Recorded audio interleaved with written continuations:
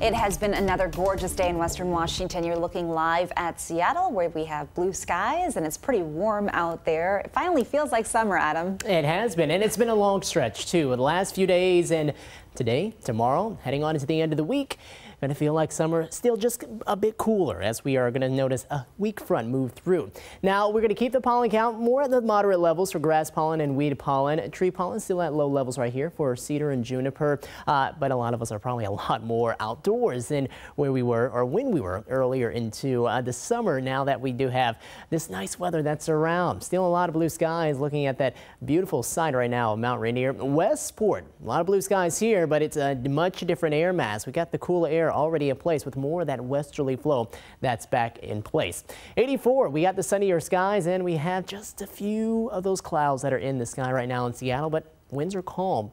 Check out what the winds are doing through the Strait of Juan de Fuca and out along the coast coming in from the west, 10 to 20 miles per hour. And that's where you're going to notice more of the cooler numbers or more of the cool numbers when it comes to our temperatures. You get closer to Puget Sound, not a lot of wind really happening right now. Maybe 5 miles per hour, a little higher, getting closer to Tacoma right now sitting at 8.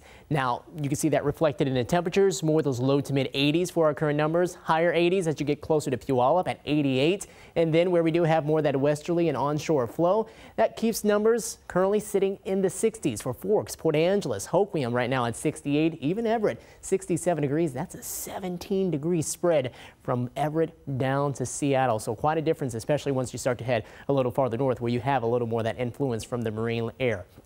Satellite radar picture does show us where that weak front is starting to make its way over Vancouver Island. You can see the thin band of clouds right here. Also a very weak band of showers, which will mainly stay off to the north in British Columbia. I don't think we're going to see any of that here, but as that moves on through later tonight, we're going to see an additional cloud coverage really start to make its way in, and then that's going to stick around into the start of tomorrow. So here we go into the night. You can start to see those clouds approaching. This is 8 o'clock to 9 o'clock. We're seeing a few more clouds develop out ahead of that too. This will sweep on through early into the morning hours, 4 to 5 o'clock. Once that moves on by, we'll start off with clouds on Wednesday. The afternoon by about 12 to 1 p.m., we're starting to see skies clear back out and a lot of sunshine ahead for the rest of the day. Tomorrow night, Clear skies should be pretty nice and decent there. We'll have a few clouds develop, maybe even some patchy areas of fog.